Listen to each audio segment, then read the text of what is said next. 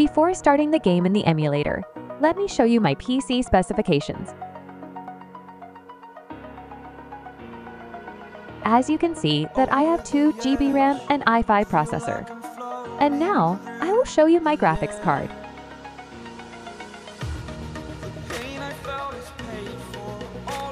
Here you can see that I have Intel's inbuilt graphics card with a memory of 64 MB.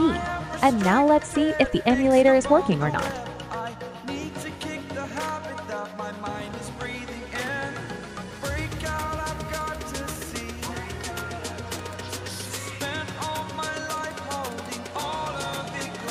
See? It's working. Hello guys! I am your host Lana and you are watching Tech Decode. In this video, we are going to run Android emulator on our 6 years old C. As I have already showed you my PC specification, but if your specifications is much lower than me, then I will recommend you to watch the above video. In this video, I tested several different Android operating systems on my 1GB RAM C.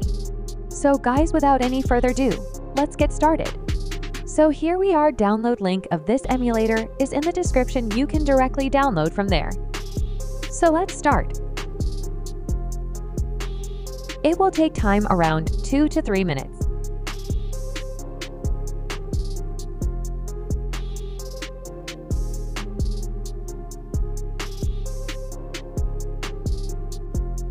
Now click on Continue.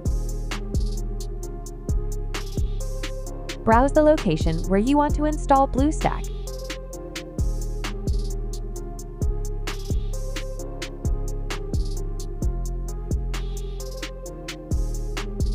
Click on Next. Now click on Install. It will take time around 5 to 10 minutes. So let's wait.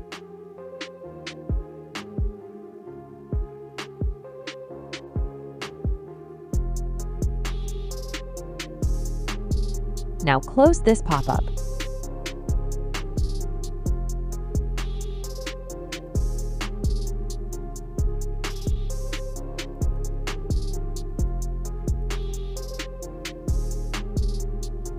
Click on Start BlueStack.